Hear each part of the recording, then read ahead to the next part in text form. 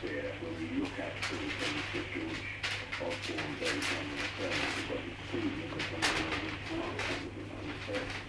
Well, uh, I don't, um, um, that, um, the British politics, but I would hope that there will always be in the United States, if any British delegation listen together. I mean, you say you need Lego off in the party politics but you are coming at a time when there's a big election approaching where there could be a change of government in Glasgow City. You in to the the release of by the Scottish government.